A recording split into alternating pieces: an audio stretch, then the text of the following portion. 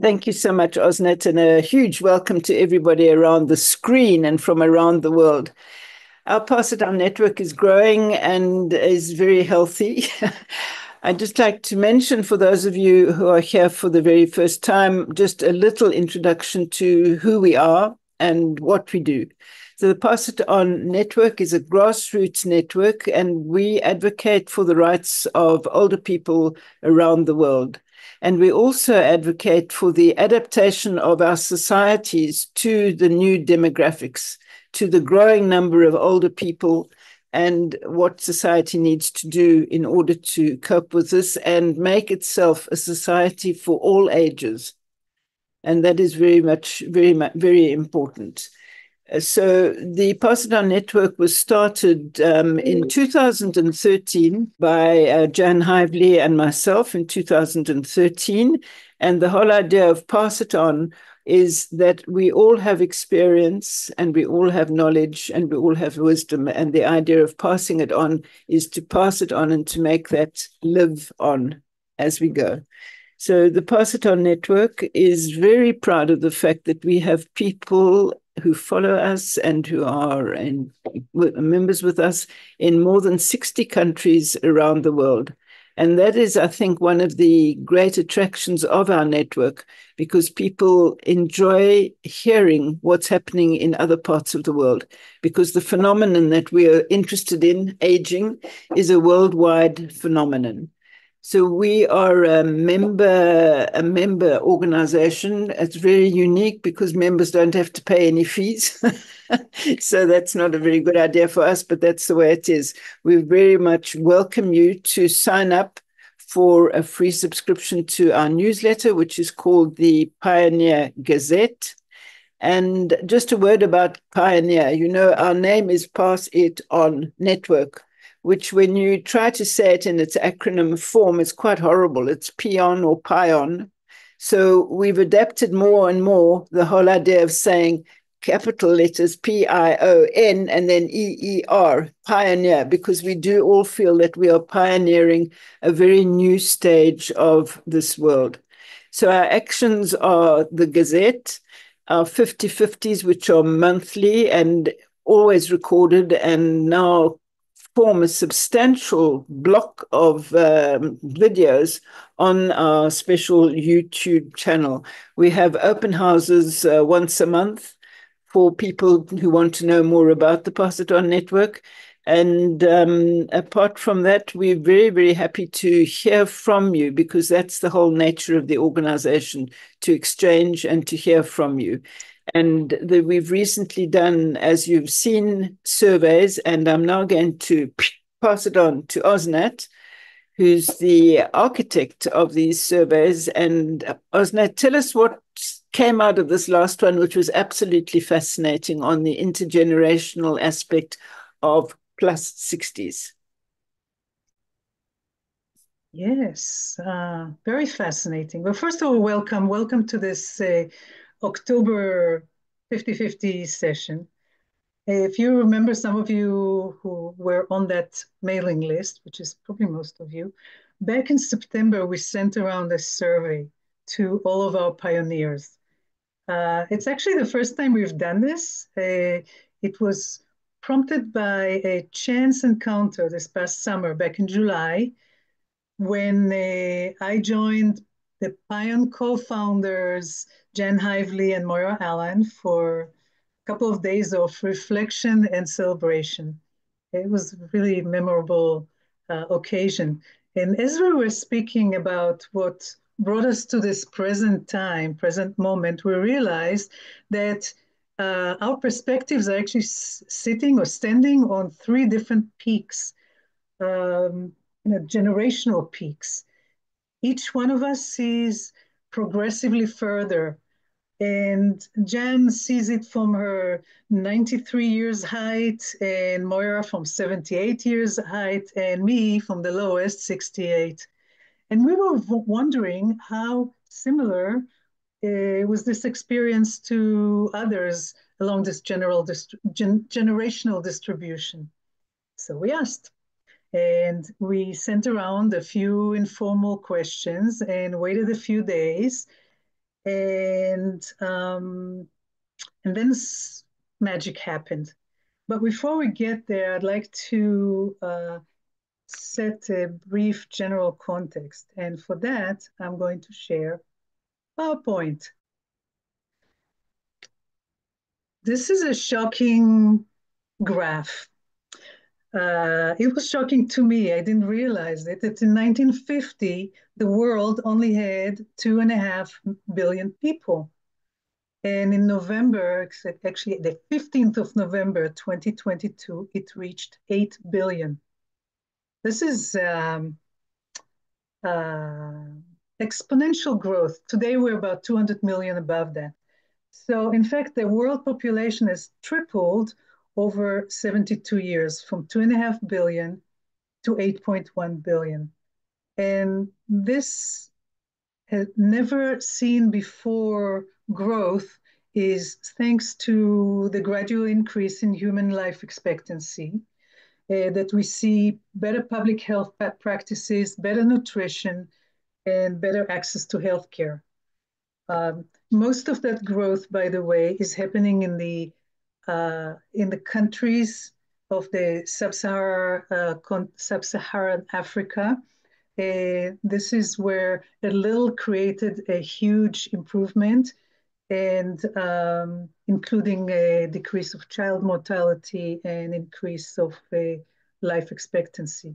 So this is a trend we're going to see for a while until middle of the century. Okay, sure. Now, this is another thing, another point of view. If we go back to the global look, uh, global view, this is an age distribution between 1950 and 2024. The pink is women, the blue is men. And uh, on the uh, left hand, you see a bar that shows ages, and uh, the pyramids themselves show the uh, percentage of the population in that age group. So what we're seeing when the world was only two and a half billion people, uh, the percentage of people under 20 or under 30 was quite big.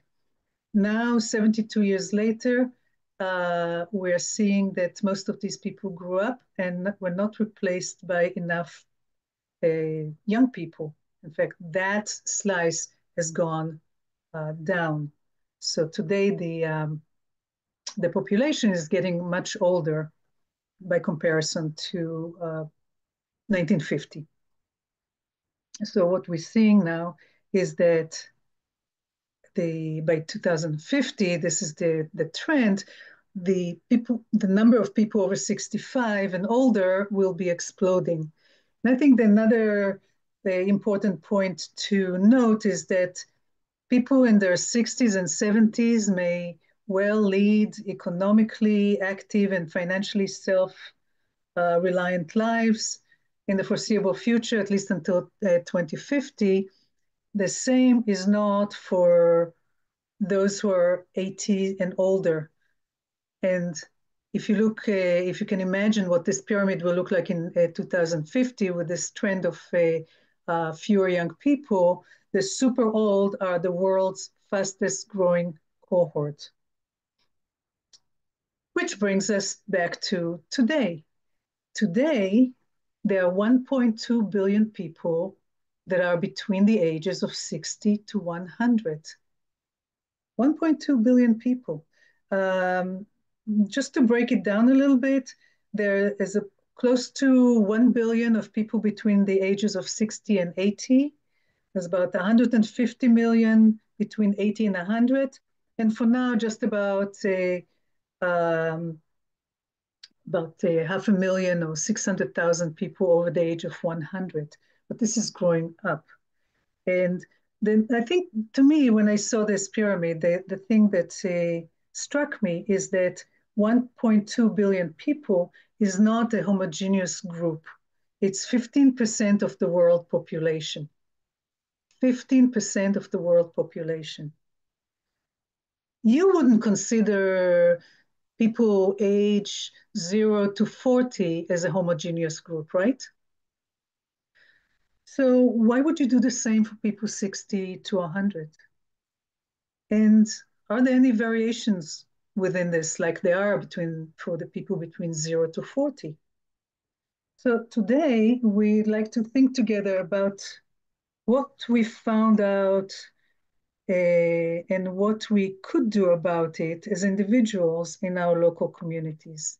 About that, uh, one, the voice of 1.2 billion people, 60 to 100.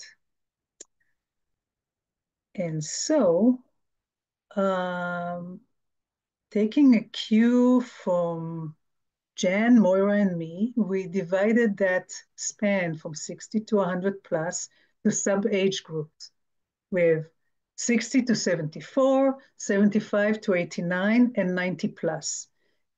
You can call it arbitrary. It's just made sense because we uh, reflected back to who we are today. And um, yes, in chat, maybe you can maybe you can just put in chat if you see any generational differences in character, in behavior, in, in markings, in, in identity uh, expression between 60, the, the first group, the second group, and the last group.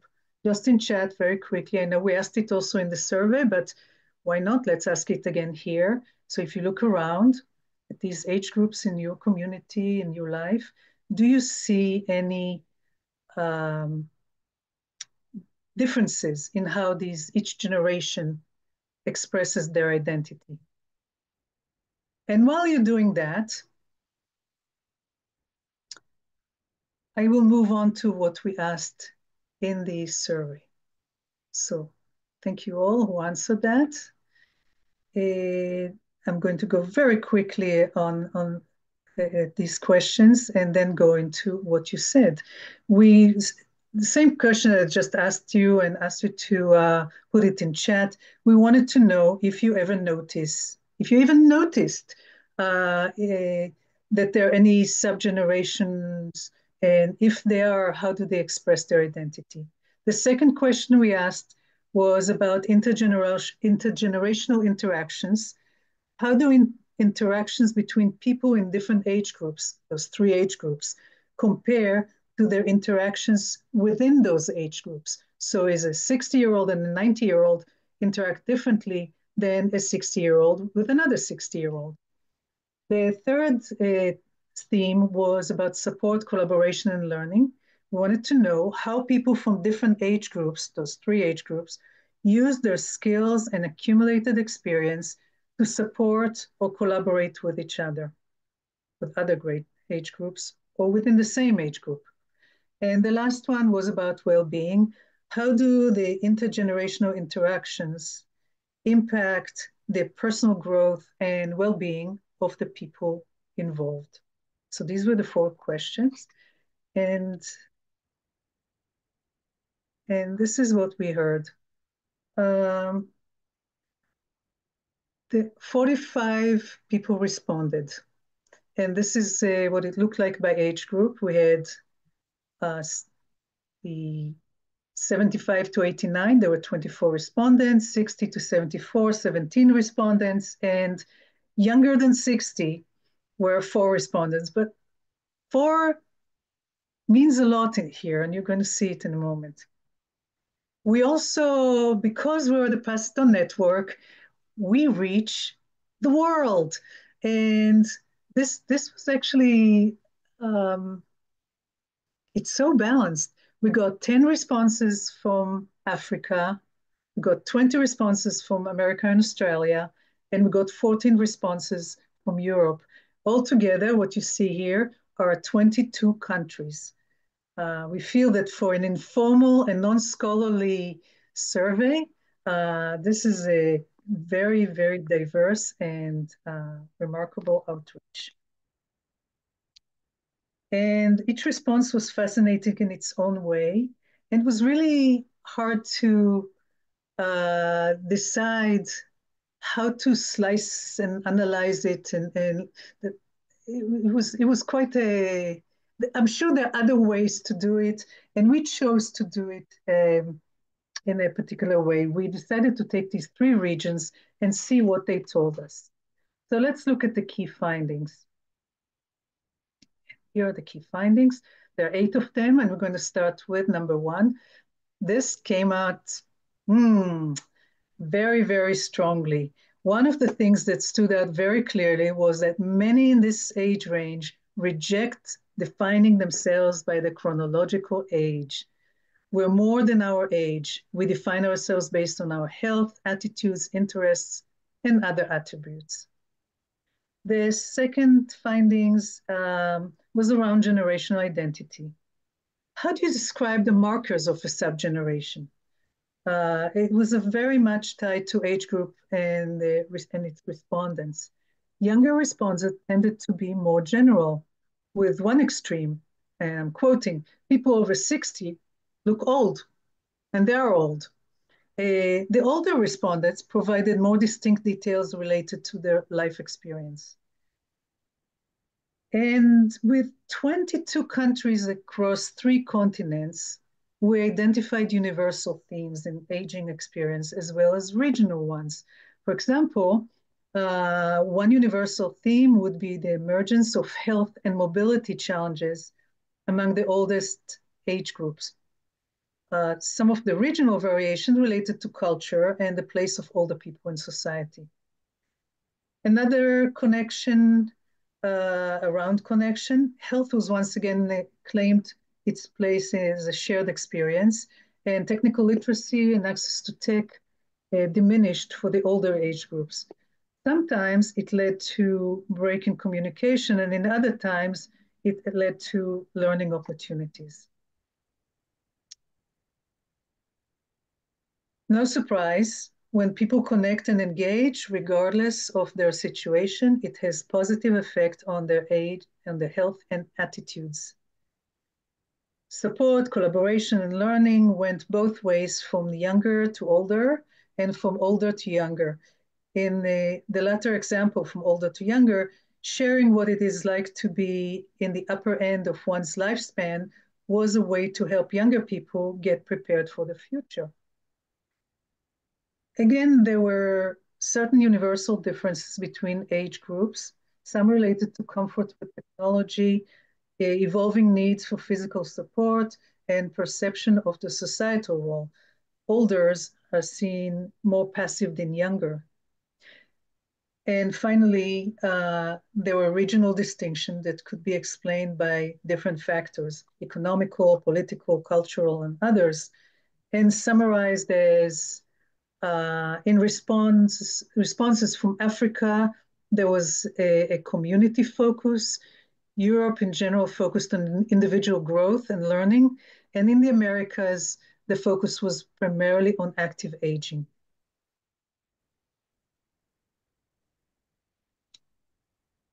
So where are we? So our survey highlighted that when it comes to creating policies and services for older adults, we need to hear from everyone, especially the older adults themselves. Here's where, where it gets interesting. The more, act, the more active younger olds are in a great position to advocate for their peers, especially those who might have trouble getting around it, it always seems to come down to vitality and well-being and to others' perception of these factors in you. By bringing a range of older voices to the table, we don't let the discussion stop at the chronological age. We're also considering cultural backgrounds and personal situations. And what happens as a result? Solutions that could really work for aging communities making sure everyone feels included and supported. This survey wasn't just about gathering information, it's about taking action. And that's our call to action to you. Pass It On Network is committed to creating a world where every generation's voice is heard and valued. As you can see here, four points include all voices, especially those who find it hard to make themselves heard. Unleash active younger all to advocate for older people and creating a just and supportive policy, policies and services. So what's your next action? Okay, three questions in the chat.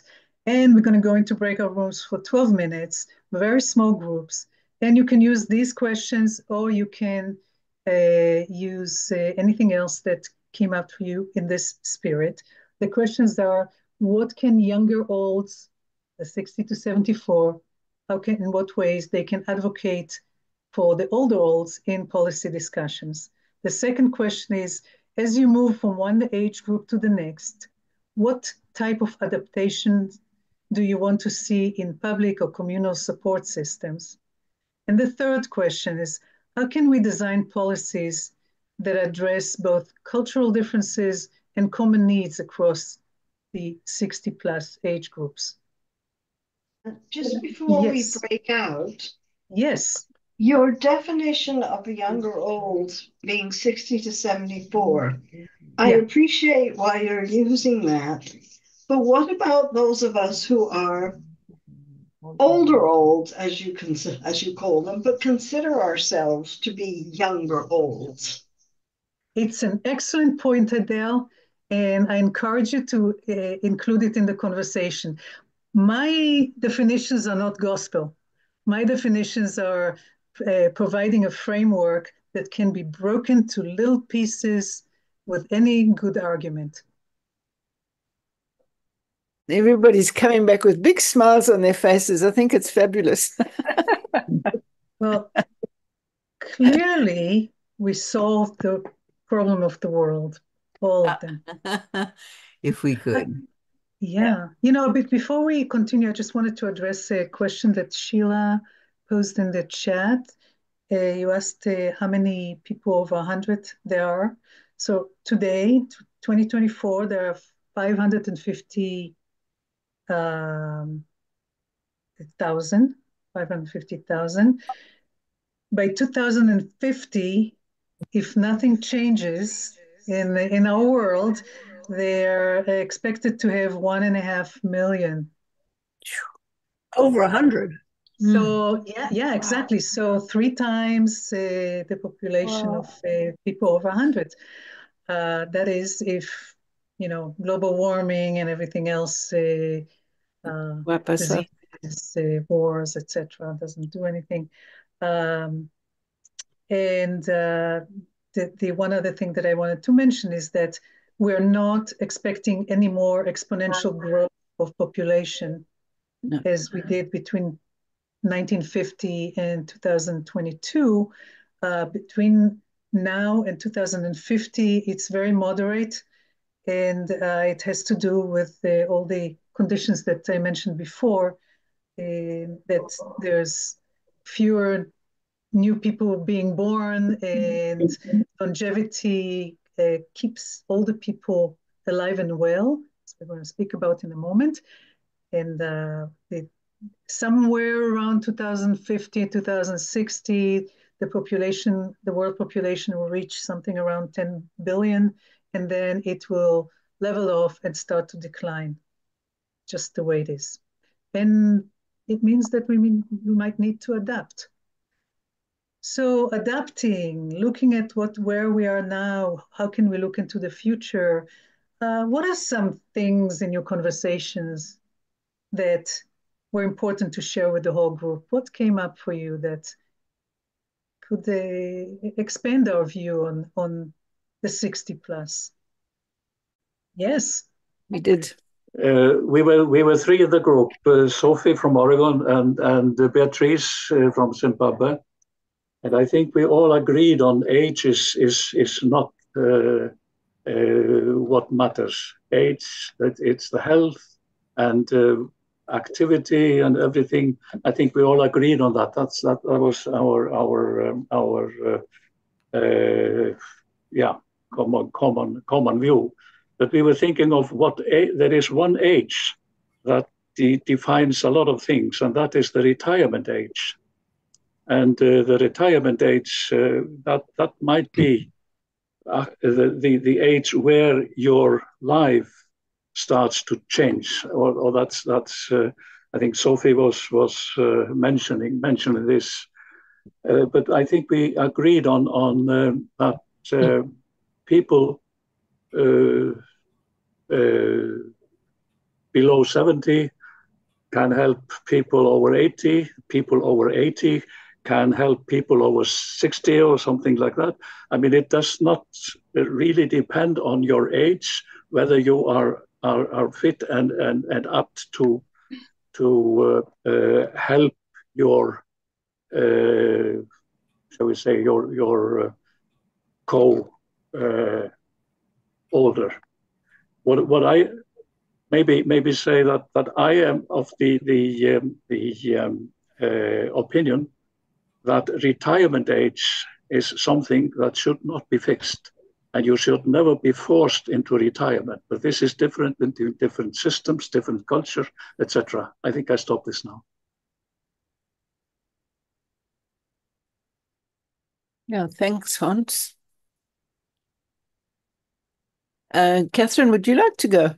Sure. And by all means, Michelle and, and um, Han chime in if I don't if I don't include everything. The first question, which is really that there was an underlying assumption that somehow the group that was the younger one up to age 74, which we disagreed with since we were all older than that and didn't feel we were old.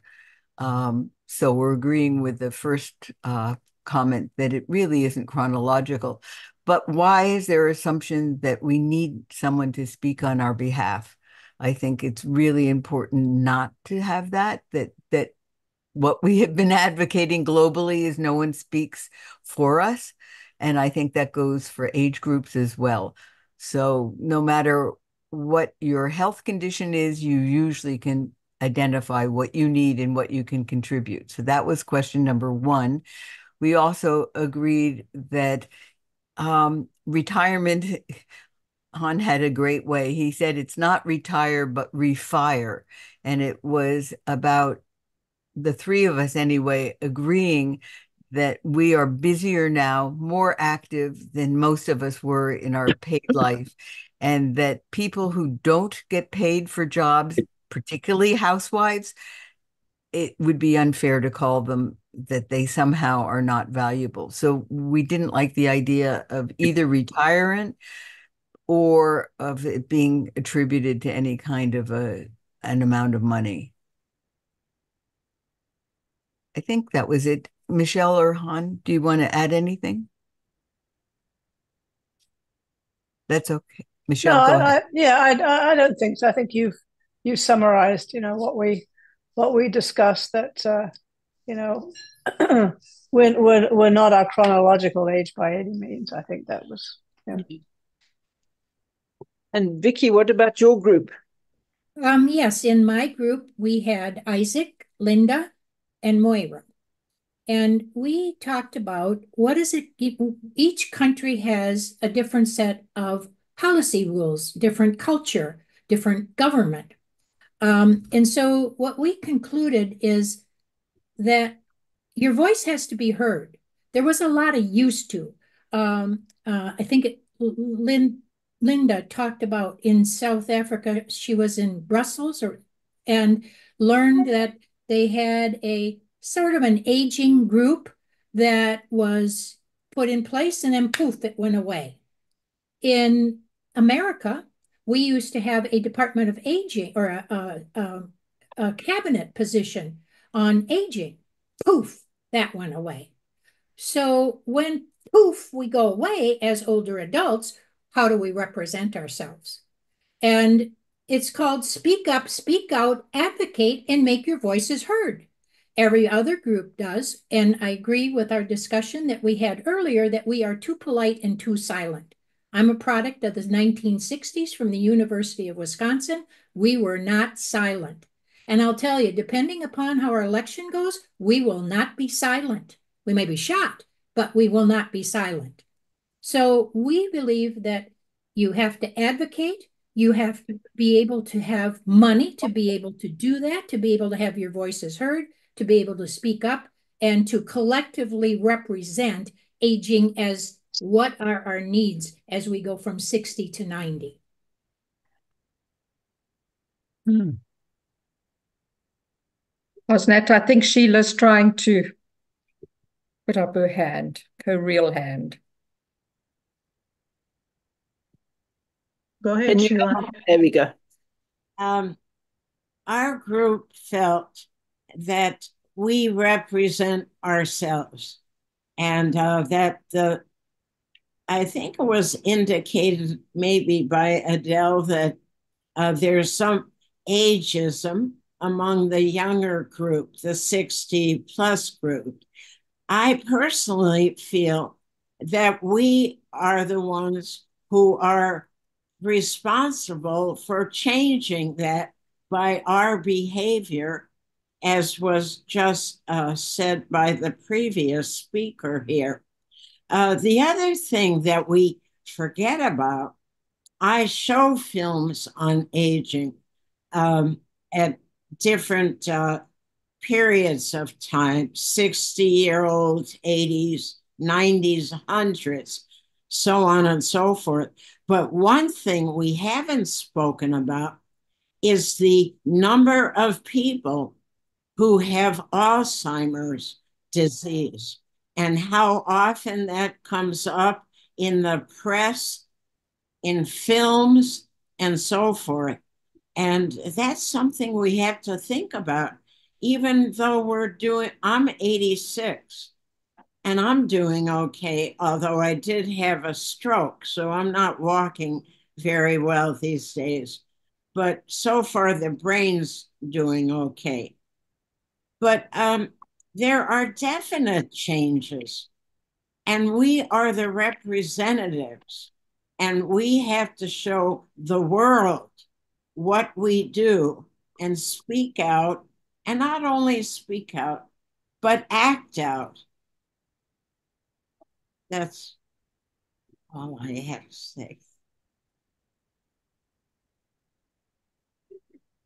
I, I wanted to uh, respond to what something that Vicky said. Um, one of the things that uh, came out uh, out of our survey was that there's health health issues and mobility issues of people who are older, and as note, well noted, it's not defined by age, but it's something that does happen that people have many people have less mobility, less able to uh, bring their voice to the public uh, domain, is that younger olds, however you define yourself, can take that voice, can identify these needs and bring them into the uh, uh, policy and services arena because the older olds cannot. So when we say we want to make every voice heard, it is a responsibility of a responsibility of a younger person to understand what are the concerns of the older people uh, that cannot have their voice heard and bring this to the bring it to the table. Otherwise, as Vicky said, the people who uh, shout loudest, that's my, my words, not yours, uh, are going to be heard, and the people who do not have a voice will not be heard.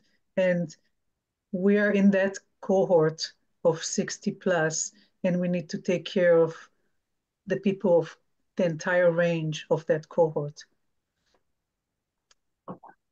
So, Ingrid. Yes, thank you. Um, well, I was in a group with uh, Bob and Richard, and I think we agree with you know everyone else that uh, age is not, or the the you know the age cohort is not so much related to uh, chronological age, but that is more, you know, who you are and what you can still do and etc. There's 87 year olds who do a lot of great things while uh, we have 40 years old who are already old.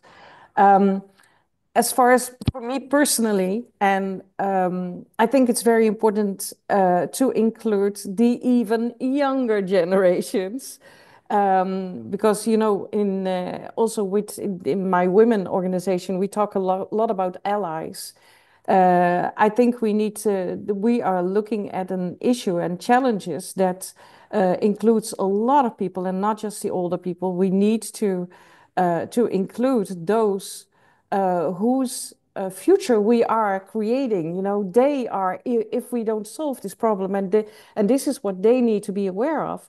If we don't um, really work on this challenge together with the younger generations, then they are going to look at a huge, huge issue in a couple of years. And uh, you know, you hear the numbers about you know how many hundred years old and how many so many years old. Um, those first pictures that you showed in the slides in your slide deck, those pictures need to be something that uh, everyone should uh, should see and everyone should be able to act on uh, because it's their future. Thank you, Ingrid. Ingrid, that that, that uh, feeds directly into, and, and Lyle and Joyce will get to you in a second. Uh, in the chat, there's a question from Isaac, and he's talking exactly about what you were just speaking about. How do you, how do you foreplan, foresee uh, what is the, what is your future uh, based on what you can learn from today's present? And maybe after Lyle and Joyce speak, we can go back to that. And Isaac, maybe you, uh, at that point, you can actually come on online and, and speak about it. So Lyle, and then Joyce, and then Isaac. Thank you, Osnat. Just picking up on Hans's comments on retirement and countries having different systems. In New Zealand, some time ago, they abolished the official age of retirement. And we have a lot of older people in the workplace. There is still ageism, and often their skills aren't recognized as, as much as they should be. And certainly neither is their experience. But I, I do like some of the phrases like uh, would help perhaps abolish or um, downgrade the word retirement. I like the refire comment someone made. I use retire spelt R E T Y R E in terms of getting some new tread on the tire and trying new things. But I think one thing we can do in, that that intergenerational older dynamic that the survey related to was encourage more people to be brave and strike out and start quite new things when they leave so-called formal retirement, perhaps working for others. I mean, musicians, like the Rolling Stones, they, will, they, would, they wouldn't contemplate retiring. Who, who would have thought that? Poets don't retire. Novelists don't retire. There's a lot of people who, if they haven't had the chance to express their creativity in some of those areas, who can take up unpaid music or some paid other jobs in quite new areas. So I think one dynamic is for people who are in that second or third sub cohort to encourage others reaching perhaps the age when they qualify for a superannuation payment to look at being a bit more brave and try new things, both voluntary but also remunerated to put a value on what mature people can offer.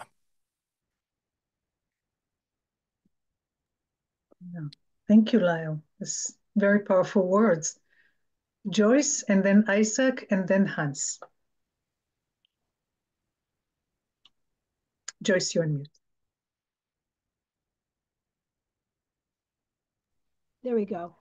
Uh, yeah, a couple of things. Um, first, I had the privilege of uh, of meeting with excuse me, with uh, Barry and his wife, although Barry had to leave for a meeting. So we had a great conversation. And of course, she's in Minneapolis, and there's so much that has gone on in Minneapolis. We always use them nationwide as, as a role model. So uh, we were getting caught up on what was happening in Minnesota, talked about age friendly cities.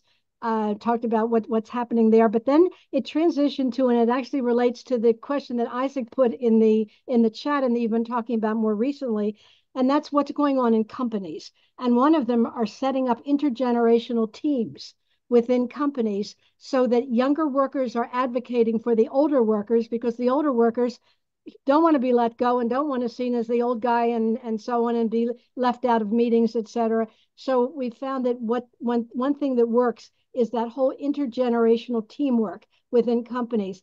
And if you have any interest in that, just go on and look at leveraging intergenerational leadership. And there are a number of United States companies and probably in your countries as well, and just see who is doing what and there you'll find the names of company uh, names of companies or organizations. Here, Harvard University up in Boston, Mass, has led that whole uh, trend toward intergenerational leadership within companies, and it's a way to have younger workers advocate for older workers and begin to look at how do you leverage when you've got old equipment and you've got older workers who worked on that back in the 60s, 70s, 80s. There's value add that isn't being utilized. And there are a number of other opportunities that show up and vice versa how older people can coach and mentor et cetera younger workers because you're going to be the next tier of leadership thank you joyce in um, linda is recommending a, a book in the chat called five generations in the workplace and i want to uh, ask uh, isaac to uh, come online and, and ask your question. All right. Hello, everyone. Um, let's see. Let me scroll back up. So, yeah, so um, with my question, uh, I was just wondering, you know, as we have these discussions and uh, like uh, some folks have said before, uh, Joyce and Ingol, um, about uh, how aging looks like at the moment, but also how it might look like in in you know maybe not the distant future, but also just the near future, maybe within the next uh, five ten years. Um, so what I was wondering was, um, because aging is a is a constant process, and of course, as the world changes around us, and as you know, events happen and, and as uh, things happen in our lives that may shift us to go in one direction or or to think about life in different ways um how do we and this is i'm asking the world this question. So uh i'm very curious to hear what other people would have to say but um i'd be very curious to um chip away at that. How how we would uh, engage and think about aging, not so much as uh, a, a thing that occurs and then it happens, but rather as a constant process, as like we've like we've talked about before, how um, with every years with every year that goes by, more and more people are being added to this growing number of of uh, older uh, people of the world. So I'd be very curious to to understand that more because like like we talked about before, if if we're able to understand what it means to progressively grow older as the world around us changes and how that in turn might change how we view aging, um, I'd be curious to then see how we could all collaborate in that sense because like um, a few folks have mentioned before, how uh, uh, how the people who may not be a part of the older generations or may be considered the older generations today will be the older generations of the future, right? M myself included. Um, so yeah, I, I would love to um, discuss that because as as we've we've as many people have rightly pointed out, it's it can't be something that's delineated very strictly. It, it, it ebbs and flows and and people feel different ways uh, as the years go by. There are events that shape us how how we see ourselves in our in our communities. So yeah, my question's sort of related to that of, of the sort of fluctuating nature of, of of aging as time progresses. Well, thank you, Isaac. This is a big question, and I'd like to just pinpoint something here. Uh, we actually looking at with, with your question, we're looking at uh, two different topics. One is complete what we what in the public discourse is called intergenerational people over 60 with people under 60. That is something that we actually hope to speak about uh, later in the year, much more uh, in more details. today, the focus is a little bit about how not to look at people over 60 as a monolith. And, and uh, from what I've, have been said here uh, all in the past hour is that people over 60 are not monolith. Maybe they're not defining themselves uh, based on chronological age, but they are defining themselves about their vitality, their interests, their passions. Uh, but yes, also uh, their ability to move about and, and, and do the things they want to do freely. Uh, freely meaning free of uh, uh, physical limitations. And within that group, we have many, many variables, and we can leverage that uh, and help people who are younger than 60 observe that and know that any that not everybody over 60 is old. Uh, so let's let's stay for today's conversation in unpacking that uh, so-called monolith into what it really is. Um, yeah. Just one thing, Lyle, I'm going to get to you in a minute. I just want to say we are going to uh, close this session formally at 15 minutes after the hour and continue keeping it for another 15 minutes for all the things that didn't get to be said. Uh, Lyle, uh, you're going to go next. I'm going to ask Moira to bookend this conversation after that. And then at 15 minutes after the hour, we will close formally and uh, move on to our fantastic post conversation conversation. So Lyle, all yours. Oh, thanks, Osnat. Now, just just uh, how you framed today's session, what you just said, reminds me to.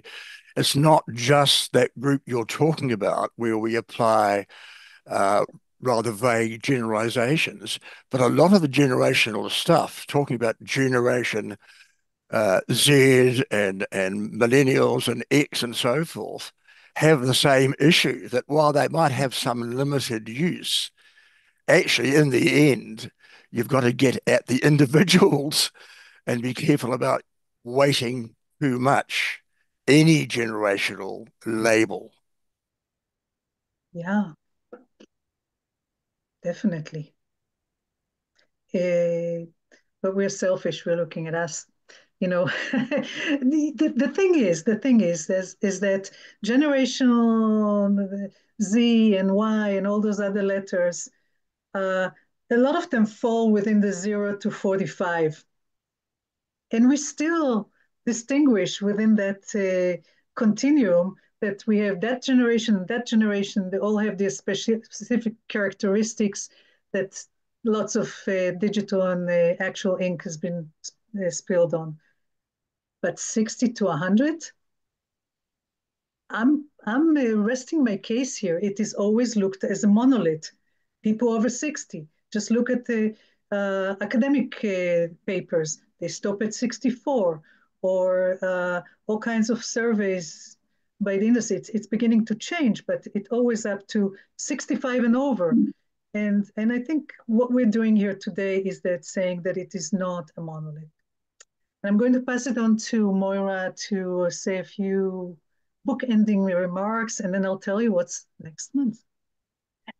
Right. Uh, th thank you, Osnat. You know, I'd just like to mention something that I heard uh, Dr. Bill Thomas saying, and it made a huge impression on me. And I would like to leave that thought with you because I agree with everything that we've said around here. We're not a monolithic block, we individuals, and in our heads, we still, you know, Moira of 35 or Moira of 40. I don't, and I'm sure you're all the same for that.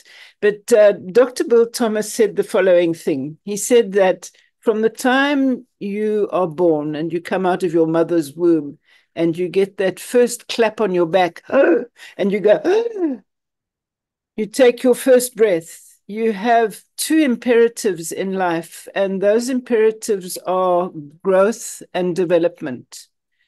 And they remain with you throughout your life until you breathe your last breath.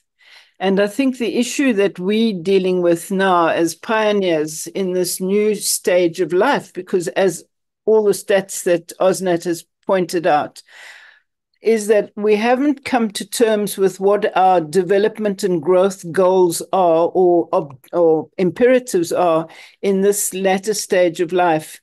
And that is our job today, is to find our own personal growth and development um, goals or objectives or what what is required of us you know especially at this time um, in history, which we are living through at the moment, it's unprecedented in every single aspect.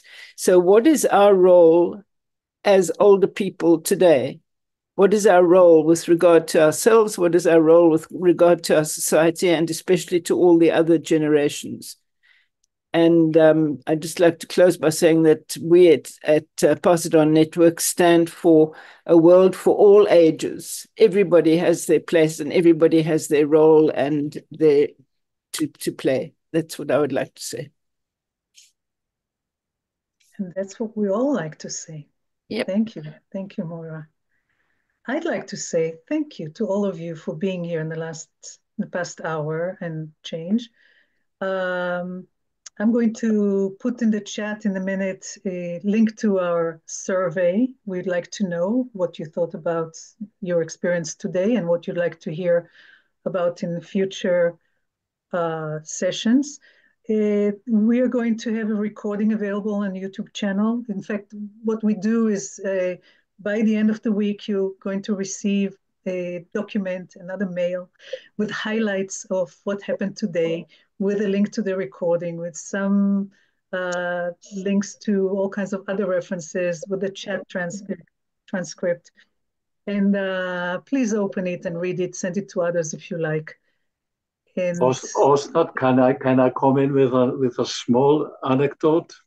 Yes, uh, sure. There is there is something that uh, I have uh, uh, thought about quite a lot since I got first with his first, I got myself this question Are you still working? Hmm. Think about it. Uh, I was 55 or something like that when I got this. Oh, are you still working? And I said, Wow, yes, of course.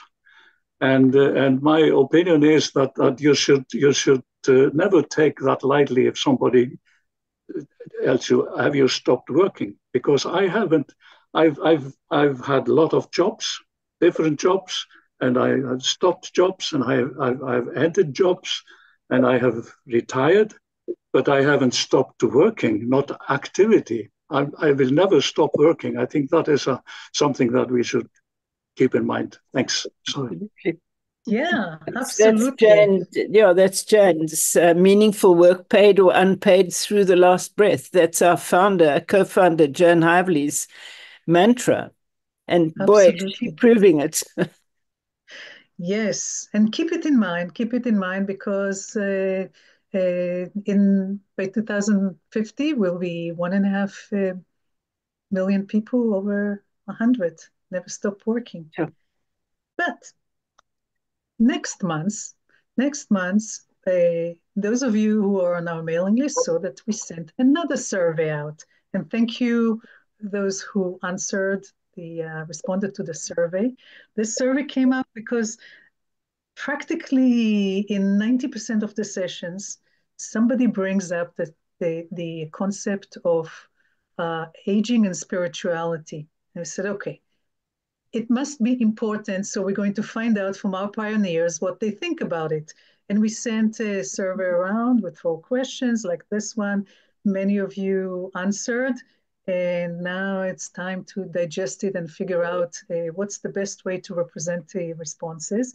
So many thoughtful responses there. And um, uh, so we're going to, in on our next session is the 11th of November, and we're going to dig, dig deeper in what spirituality and aging actually means. Hopefully you'll be here and uh, we'll see what what emerged from the survey and what can emerge from the conversation not unlike what we had today.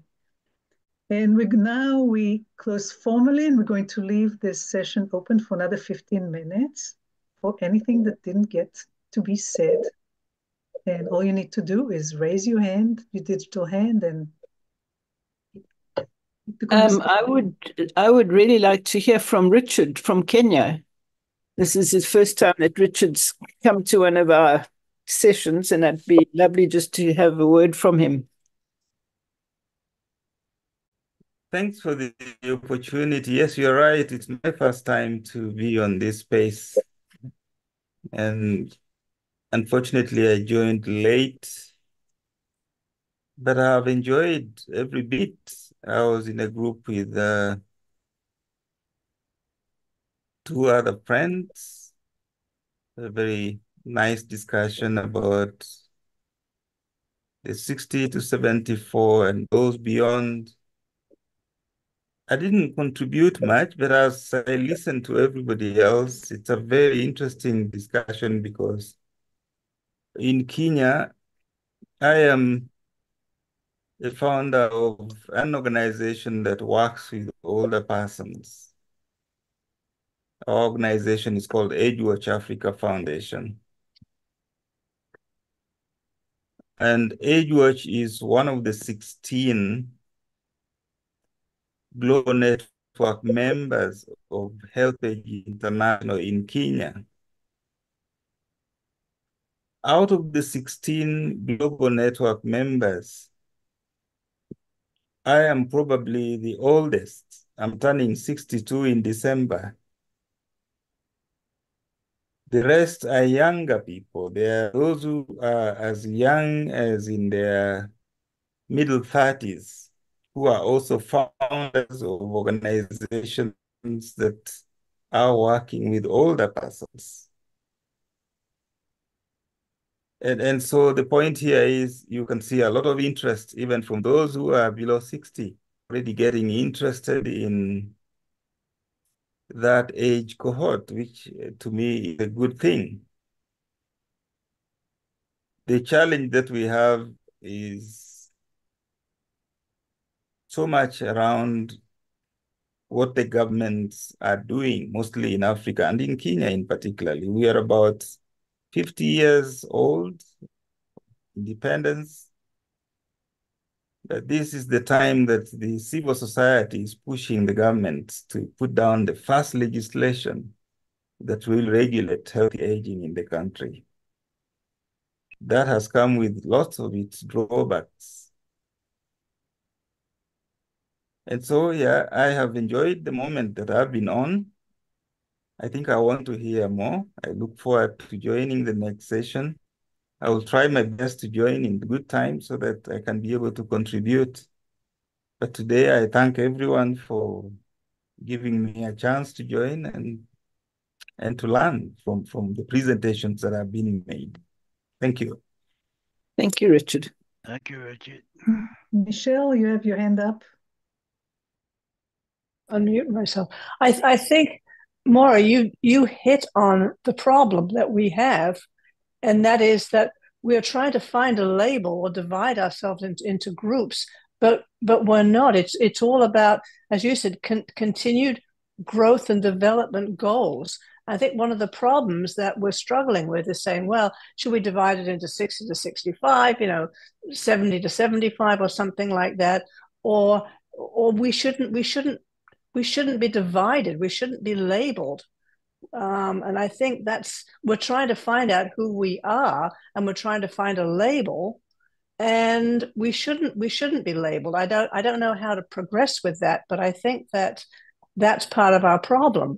Is we're, we're trying to find a label for ourselves. We've got, as you were saying last night, we've got you know all these generations X, Y, Z, what what what whatever they are out there, and um, and even that doesn't define what they are um, because there's so much um, um, uh, diversity in even within those generations. So I, I, think i think that's what i think that's a struggle. And i think we need to to focus on that struggle about not having not having a label and yet and yet saying who we are.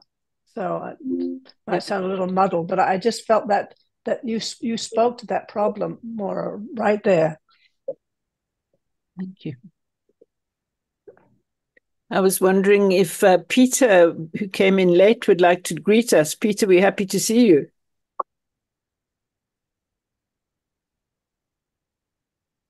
Well, hello, everybody. Uh, thank you. Hello. Um, I'm uh, sitting in the medical school, having just met with some deans and the provost, so I was late. Let me just pick up the conversation. Uh, the, the person who was talking about labels, apologies for not knowing your name. I think that's very important. I was looking for the chat uh, to say, how about human beings? And even that's not quite enough in today's age. How about living creatures? Um, I'm a doctor. We like to label people. Earlier, somebody raised the issue of Alzheimer's or dementia. We, labels are very powerful. We can't do without them. But we constantly have to ask ourselves is this a label that's helping or hurting? For example, to be provocative, I would say the label Alzheimer's is outdated and um, and it's hurting more than it's helping because it leads to false expectations. So going back and concluding my comment, and thank you for inviting it. I do intergenerational work in schools and everywhere with my grandkids. The most important thing I think is to, to, to see them as creatures. I mean, I like Bill Thomas, but it's not all about growth and development, or it's not about growth. Growth and development is destroying the world. We have to develop and get bigger and progress. Spiritual growth, Yeah. development Well, yeah. in, in dimensions that are uh, broader than we often think are is is important, and uh, I endorse that. So sorry, I, I was a bit long-winded, but thank you very much for inviting it. Good. Adele, what's on your mind? I wanted to build a little bit upon what Michelle said. And also, I'm not quite sure if I heard Moira correctly when she referred to herself uh, as a as a 45 year old or a 35 year old, as though being her real age is not a good thing. Oh, no, not at all. No, no. Okay, good. Um, I, I think that numbers, the ages we are, are labels. And regrettably, society has a connotation of what does 75 look like? What does 85 look like? What does 90 look like? How often has someone said to Lyle, perhaps, you're 83? You don't look 83, Lyle. What does 83 supposed to look like? What does 86 supposed to look like? What does 41 supposed to look like? It's we just are who we are, and we should celebrate the fact that we are getting older. Uh, thank you, yes, or you look good for your age. Yes, like, well, what, what does that mean you look good for your age? Um, you know, by by 90, are you supposed to look shriveled and old like like the crone out of the Wicked Witch of the East, or whichever one she came from? Um, I think that we need to, I think, but by as vintagers, as I like to call us, not older people, but vintagers, I think it is up to us to demonstrate that getting older should not be feared, that, that we do not have to lose agency, that we are still competent and capable, able to make decisions for ourselves, that we can speak up and advocate for ourselves, those of us who choose to.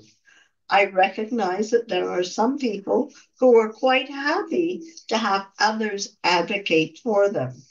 And we cannot impose our own beliefs on others. We have to let others be the way they are, but we don't have to let other beliefs that, oh, you're older, you should sit back now, dear, and just let us take care of you. Like, no, thank you. So, ages are labels in and of themselves, and and we shouldn't try and say, oh, I feel like a 65 year old. What does a 65 year old feel like? I feel like I'm 75. I am 75. That's great. So that's that's my thought. No, time flies. Time flies in many more than more, than just uh, the birthdays that we celebrate. Uh, it's also almost time to finish this call. This is last chance for anybody to say what they wanted to say and didn't have a chance to say. You have one minute to say it. Sheila, yeah. I I have a, a very brief story which I always tell. When I started the festival in 2011, the brochure said Legacy Film Festival on Aging. And we didn't get as many people. It was a three day fest um, in a theater as I expected. So somebody said, Well, you need a PR person. So we had a PR person come up and she looked at the brochure. Probably you've heard this story of mine. And she said, Take that word aging off there. And I just started laughing because I said, That's the point. For God's sakes, what are we afraid of? And um, so since then, I have kept the word aging, and it has become a more popular word, not because of me, but because of the number of people who are aging in the world. Yeah. Thank you, Sheila. This is always such a good story. And um, yes, we're all aging. And uh, we need to support ourselves and support others in whatever way we can. And thank you for being pioneers and being mm. part of Pass It On Network. Thank you for being here today. Hopefully, we'll see you on the 11th of November next month when we dig into our survey about spirituality and aging.